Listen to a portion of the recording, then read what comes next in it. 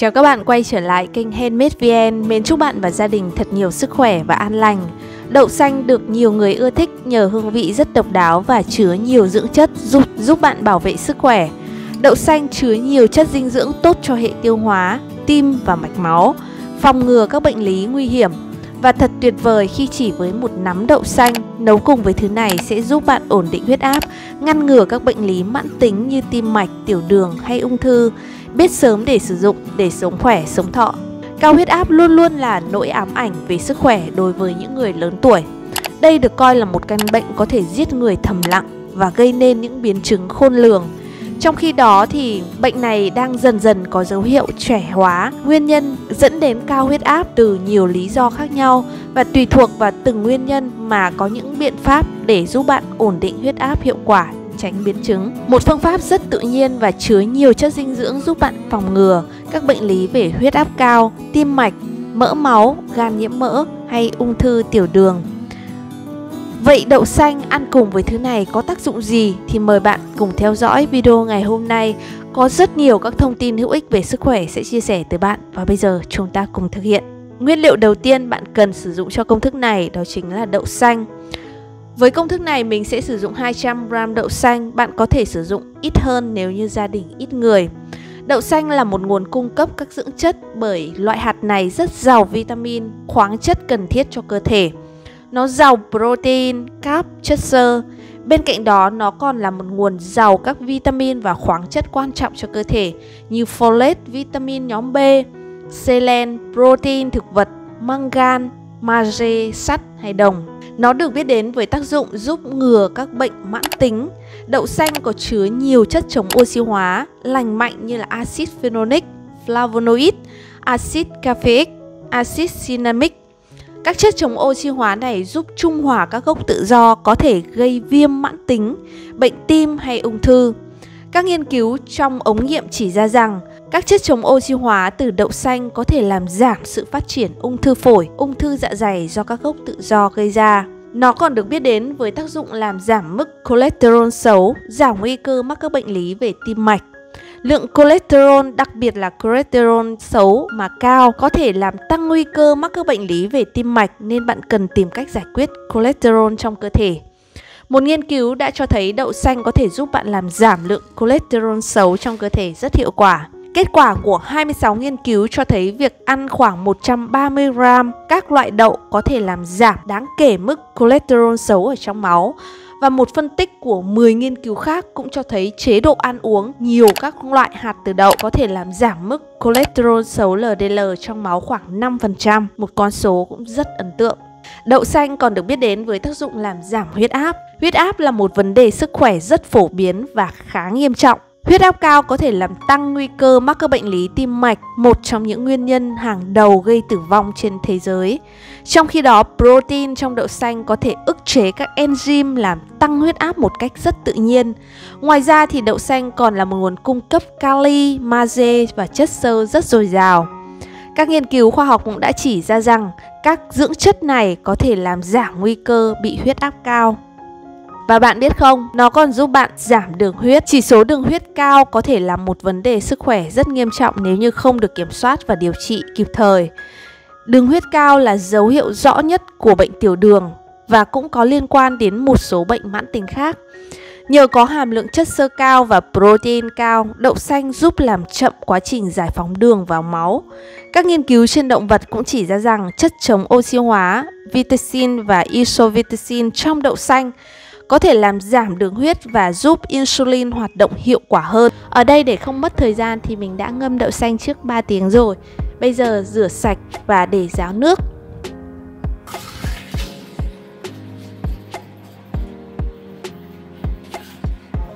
làm tăng lượng chất chống oxy hóa. Trong đậu xanh rất giàu các chất chống oxy hóa, nó có tác dụng chống lại các bệnh tật và tăng cường sức khỏe.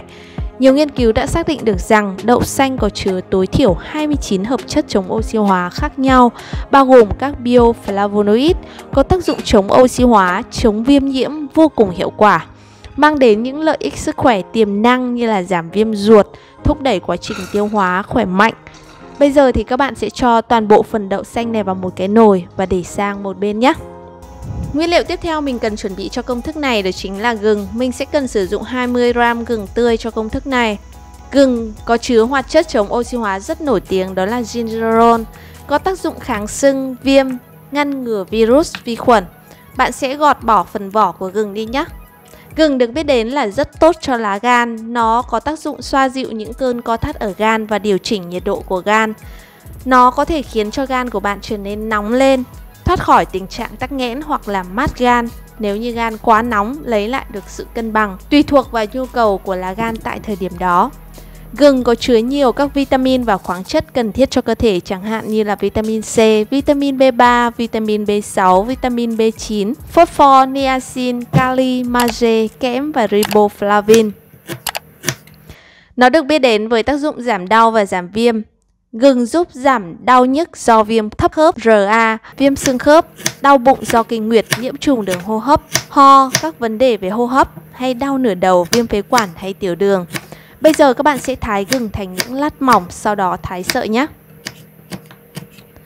Gừng có tác dụng làm sạch các kênh tuần hoàn mau mạch của cơ thể, bao gồm cả làm sạch xoang mũi, giúp giảm nguy cơ bị cảm lạnh theo mùa hoặc là trong những ngày thời tiết lạnh.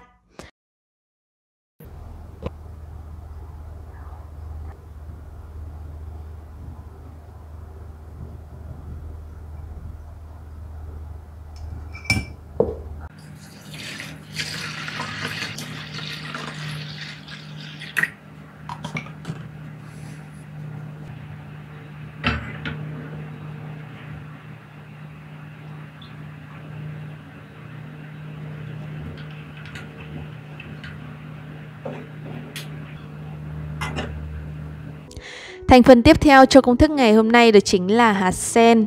Đang là mùa hạt sen nên mình sẽ sử dụng sen tươi. Mình sẽ cần 100g hạt sen, còn nếu như không có thì các bạn cũng có thể sử dụng sen khô cho công thức này. Hạt sen từ lâu đời đã được sử dụng để bồi bổ sức khỏe, giúp nâng cao và cải thiện cho cơ thể. Hạt sen có chứa hàm lượng protein, magie, kali và phosphor rất cao, trong khi hàm lượng mỡ, bão hòa, natri và cholesterol lại thấp rất có lợi cho quá trình sản xuất hồng cầu và tạo máu, mang lại nhiều giá trị lợi ích tốt đối với sức khỏe. Bạn hãy chuẩn bị một tô nước sau đó rửa sạch phần hạt sen này nhé. Hạt sen không những có tác dụng trong việc tạo năng lượng cho tế bào máu mà nó còn là một trong những loại thực phẩm có tác dụng rất hiệu quả trong việc điều trị chứng mất ngủ, một tác dụng phụ của quá trình thiếu máu gây ra và nó cũng rất hữu ích trong việc giảm căng thẳng thần kinh, kháng viêm, chữa đau đầu hay kiểm soát đường huyết, ổn định huyết áp, giảm suy nhược cơ thể, kích thích vị giác và ngăn ngừa các viêm loét dạ dày.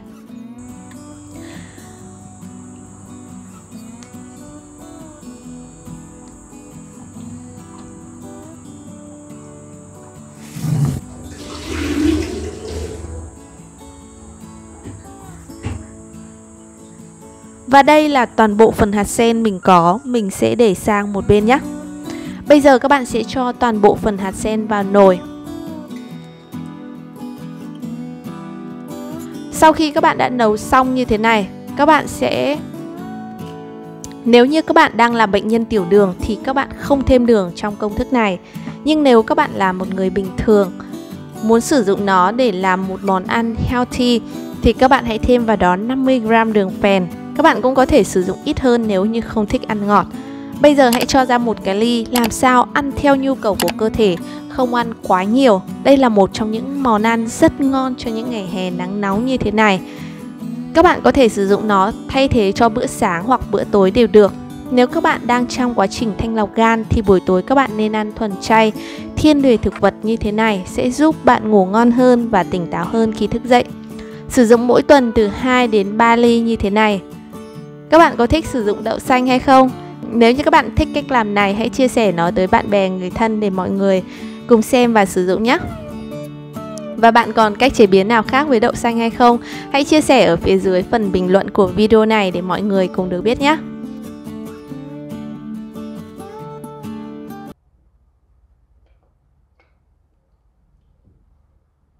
Bác sĩ đông y tiết lộ chỉ cần ăn rau muống nấu cùng thứ này chữa cả đống bệnh gan thận khỏe như voi, tăng cường máu lên não, giúp máu lưu thông được tốt hơn. Đây là một trong những bài thuốc đông y quan trọng nhất cho giấc ngủ, não bộ và chứng bệnh thiếu máu não. Điều này cực kỳ quan trọng đối với con người hiện đại ngày nay. Kết quả của một lối sống bận rộn, căng thẳng, thói quen xấu. Trung bình mỗi người ngày nay ngủ ít hơn 2 tiếng so với 30 năm về trước và việc thiếu ngủ ảnh hưởng không nhỏ đến sức khỏe, khả năng miễn dịch, tiêu hóa, trạng thái tâm lý và phát sinh bệnh tật. Nếu chúng ta muốn khỏe mạnh, chúng ta nên có 7 giờ ngủ sâu mỗi đêm. Vậy cụ thể nó là thứ gì mà lại giúp cho chúng ta ngủ ngon như vậy và ngủ sâu đến sáng, tinh thần minh mẫn, lưu thông máu được tốt, lại còn đánh bay được cả tá bệnh tật và tại sao nó lại tốt đến như vậy thì mời bạn cùng theo dõi trong video ngày hôm nay. Có rất nhiều các thông tin hữu ích về sức khỏe sẽ chia sẻ tới bạn. Nguyên liệu đầu tiên các bạn cần chuẩn bị cho công thức này đó chính là rau muống. 5 ngọn rau muống là đủ cho công thức này. Rau muống được biết đến với tác dụng hỗ trợ điều trị thiếu máu do trong rau muống có hàm lượng chất sắt rất dồi dào. Bây giờ thì bạn sẽ sử dụng một tô nước, sau đó thêm vào một thìa baking soda để rửa sạch phần rau muống này các bạn nhé. Giá trị dinh dưỡng có trong rau muống gồm có vitamin A, vitamin B, vitamin C, gồm các khoáng chất như là canxi, phosphor và các chất dinh dưỡng, đặc biệt là hàm lượng chất sắt rất dồi dào. Sau khi mà bạn ngâm 10 phút trong nước như thế này thì các bạn sẽ rửa thật sạch nhé. Rau muống còn được biết đến với tác dụng đó là làm giảm cholesterol, phòng chống bệnh tiểu đường, bảo vệ sức khỏe tim mạch do trong rau muống có chứa rất nhiều chất dinh dưỡng, giàu vitamin A, vitamin C, beta carotene. Những chất chống oxy hóa này sẽ giúp giảm mức cholesterol toàn phần, tránh tình trạng các mảng lipid lắng động gây sơ vữa động mạch vành từ đó làm giảm nguy cơ hình thành các cơn đau tim, đột quỵ. Bên cạnh đó thì trong rau muống có chứa magie giúp giảm huyết áp và bảo vệ sức khỏe tim mạch của bạn.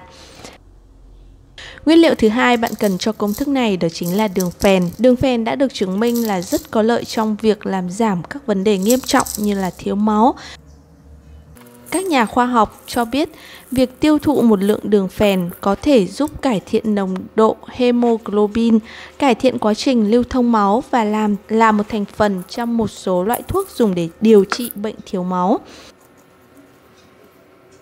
2 gram là đủ cho công thức này. Nguyên liệu thứ ba bạn cần cho công thức này đó chính là muối biển. Muối đóng một vai trò cực kỳ quan trọng trong việc giữ cân bằng nước trong và ngoài tế bào, trong lòng mạch máu và nó có chức năng duy trì áp lực thẩm thấu, duy trì điện thế tế bào và dẫn truyền xung động thần kinh. Bạn chỉ cần 5 đến 6 hạt muối biển là đủ cho công thức này. Bây giờ thì các bạn sẽ chuẩn bị thêm cho mình 50 ml nước lọc các bạn nhé. Sau đó thì bạn sẽ chuẩn bị một máy xay sinh tố và cho rau muống, đường phèn, muối và nước vào để xay nhuyễn.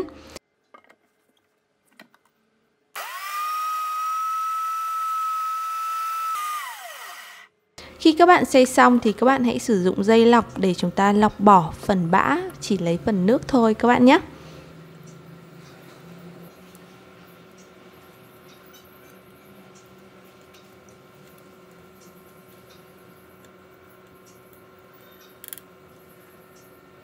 Và nguyên liệu thứ tư mình muốn nhắc đến ở đây đó chính là trứng gà.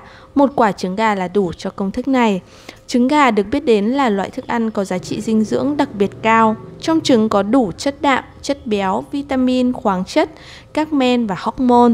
Và trong lòng đỏ trứng gà có chứa đạm, có giá trị sinh học cao, giàu canxi, sắt, phosphor cùng nhiều loại vitamin tham gia vào quá trình tạo máu. Và trứng cũng là một nguồn kali rất tuyệt vời. Nó hỗ trợ sức khỏe thần kinh và cơ bắp. Kali giúp cân bằng nồng độ natri trong cơ thể, giúp cải thiện sức khỏe của tim mạch cho cái phần trứng đã đập vào một cái bát lớn hơn nhé và hãy quậy thật là đều lên sau đó thì các bạn sẽ cho phần à, nước rau muống chúng ta vừa mới làm xong vào chung với tô trứng và hãy quậy thật là đều lên trong trứng có chứa nhiều chất dinh dưỡng chẳng hạn như lutein và choline. Lutein bảo vệ chống lại bệnh tật và choline được cho là cải thiện sức khỏe của não bộ và lòng đỏ trứng có chứa biotin rất quan trọng cho tóc, da và móng được khỏe mạnh cũng như sản xuất insulin ở trong máu. Và trứng gà có chứa nhiều omega 3 là chất béo rất có lợi cho người mắc bệnh tiểu đường. Bây giờ thì các bạn sẽ chuẩn bị cho mình một cái nồi nhá. Sau đó thì các bạn sẽ cho hỗn hợp này vào trong nồi và thêm vào đó một chút nước Rồi đem đi nấu nhá. Bây giờ thì các bạn sẽ bật bếp và để lửa lớn nhé Để nước nấu được nhanh sôi hơn. Sau đó thì các bạn giảm lửa xuống nhỏ lưu diêu và hấp cách thủy trong thời gian là 10 phút. Đây là một phương pháp hoàn toàn tự nhiên giúp bạn hỗ trợ điều trị bệnh thiếu máu, đau đầu, mất ngủ, suy giảm trí nhớ rất hiệu quả. Không những vậy, nó còn có tác dụng làm giảm cholesterol, phòng chống các bệnh về tiểu đường, bảo vệ sức khỏe tim mạch, giúp da và tóc được khỏe mạnh, ngăn ngừa táo bón, trị chứng khó tiêu, giúp cho mắt sáng và khỏe mạnh. Sau khi mà các bạn hấp được 10 phút thì bây giờ các bạn sẽ tắt bếp nhá. Sau đó thì hãy thưởng thức khi còn nóng các bạn nhé.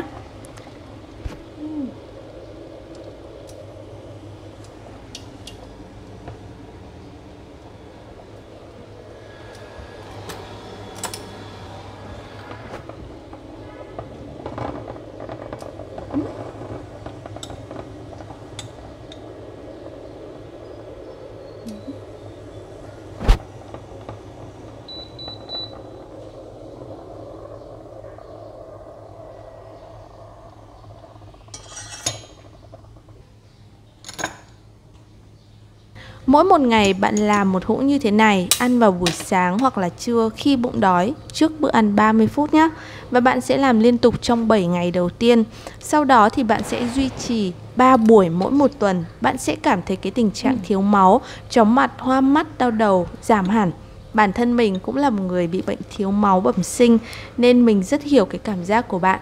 Tuy nhiên, bạn chỉ cần nghĩ đúng đắn về cái vấn đề bệnh tật của mình thì mình tin rằng bạn sẽ cải thiện được tình trạng đó giống như mình đã làm.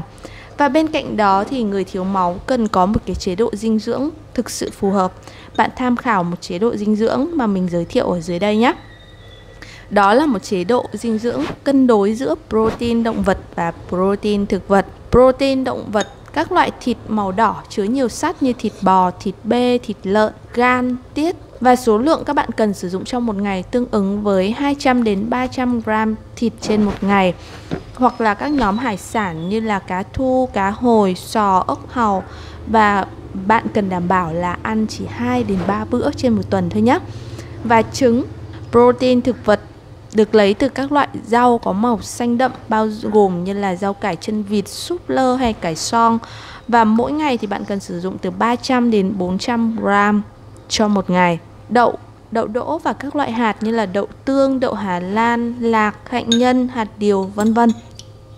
Bên cạnh đó thì bạn cần một chế độ ờ, vận động thể dục thể thao để tăng cường trao đổi chất các bạn nhé.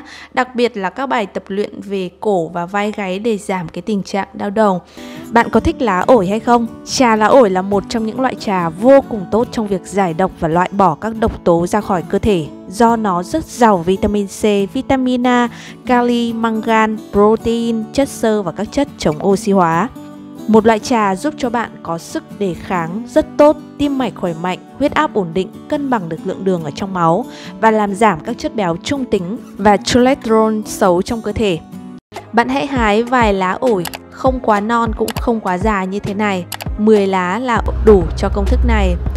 Lá ổi có những công dụng rất bất ngờ. Mỗi khi cần dùng đến lá ổi thì nó được mệnh danh là vị thuốc vàng của người phụ nữ Nhật Bản vì nó được biết đến với công dụng làm giảm cholesterol và hỗ trợ giảm cân. Bởi vì trong lá ổi có chứa các hợp chất như là carotenoid và polyphenol. Bạn hãy đem lá ổi đi rửa sạch với nước. Lá ổi có thành phần rất đặc biệt đó chính là tannin. Chính là thành phần gây nên vị chát của lá ổi, giúp ngăn chặn quá trình chuyển hóa từ tinh bột thành đường, hạn chế khả năng hấp thu chất béo, tích tụ mỡ thậm chí đánh tan phần mỡ dư thừa ở trên cơ thể của chúng ta. Nên lựa chọn uống loại trà lá ổi như thế này để duy trì thói quen tốt mỗi ngày, kết hợp với việc tập luyện thể dục thể thao để cảm nhận được sự thay đổi của cơ thể.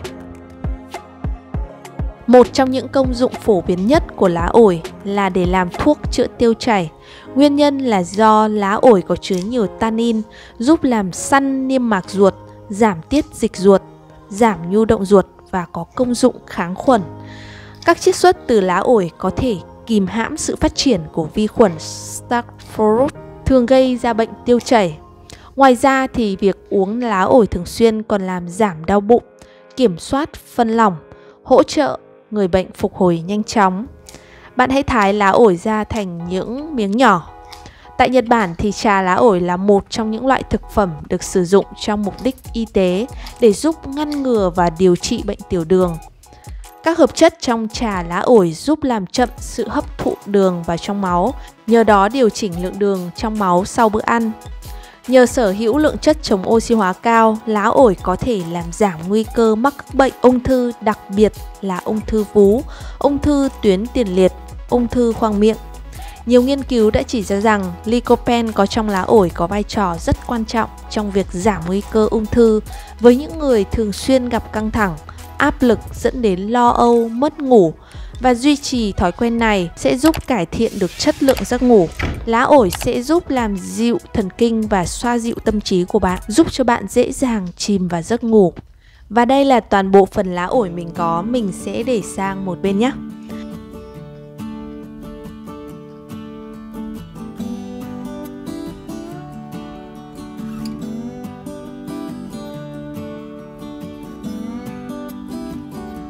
Thành phần thứ hai cũng rất cần thiết cho công thức này đó chính là gạo.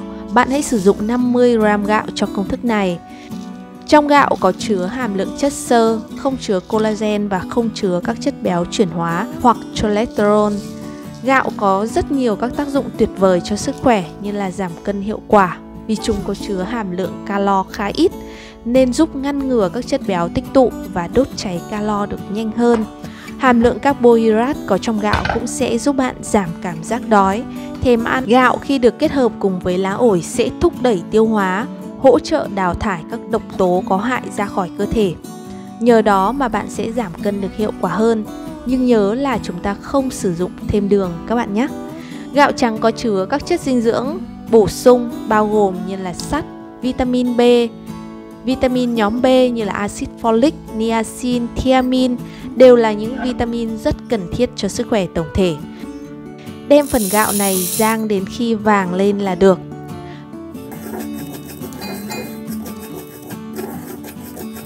Nó làm giảm cholesterol xấu, giảm cholesterol triglycerid và ngăn ngừa phần nào được những nguy cơ mắc các bệnh về tim mạch, giảm khả năng đột quỵ Gạo sau khi các bạn đã rang vàng được như thế này rồi thì các bạn hãy cho phần lá ổi vào và rang thêm một chút cho phần lá ổi vàng lên là được. Loại trà này là một thức uống rất lý tưởng cho việc hỗ trợ điều trị các bệnh liên quan đến đường tiêu hóa. Nó có công dụng bổ trung ích khí, hỗ trợ giảm nhanh các triệu chứng khó chịu ở đường tiêu hóa do ăn uống không tiêu, táo bón hoặc đầy bụng, ngăn ngừa hình thành sỏi thận, gây ra do bạn ăn quá nhiều muối hoặc uống không đủ nước mỗi ngày.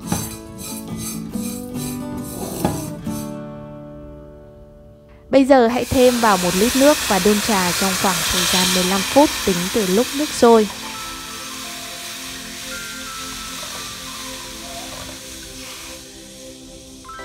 Nếu như bạn sử dụng trà lá ổi và gạo mỗi ngày sẽ giúp cho cơ thể của bạn bổ sung được chất xơ và lượng nước lớn cho cơ thể.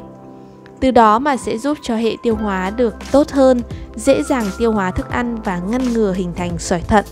Kìm hãm sự sản sinh của các tế bào gây ung thư, giảm đáng kể nguy cơ mắc các bệnh như là ung thư ruột kết, ung thư vú, ung thư gan,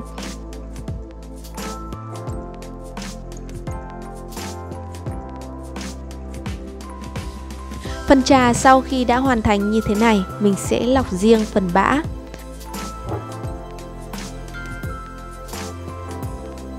Và bây giờ thì mình sẽ hướng dẫn các bạn cách sử dụng. Bạn hãy sử dụng thức uống này thay cho nước lọc và sử dụng liên tục trong thời gian 7 ngày. Sau thời gian này, hãy duy trì ổn định mỗi tuần từ 1 đến 2 ngày. Nếu bạn đang trong quá trình điều trị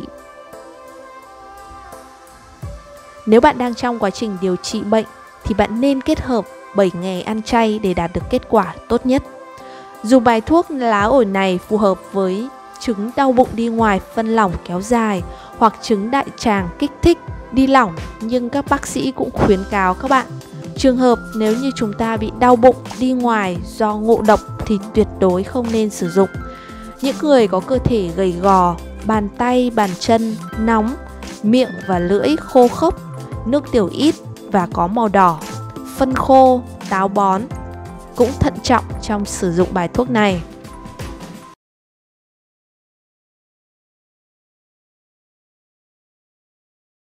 Bạn còn cách sử dụng nào khác về lá ổi hay không? Hãy chia sẻ ở phía dưới phần bình luận để cho mọi người cùng được biết nhé. Rất cảm ơn các bạn đã theo dõi video ngày hôm nay. Mến chúc bạn và gia đình thật nhiều sức khỏe và an lành. Nếu bạn thấy video này hữu ích, hãy bấm vào nút like và nút đăng ký để ủng hộ kênh tiếp tục phát triển. Bấm vào quả chuông để nhận thông báo về video mới nhất. Hẹn gặp lại các bạn trong các video kế tiếp.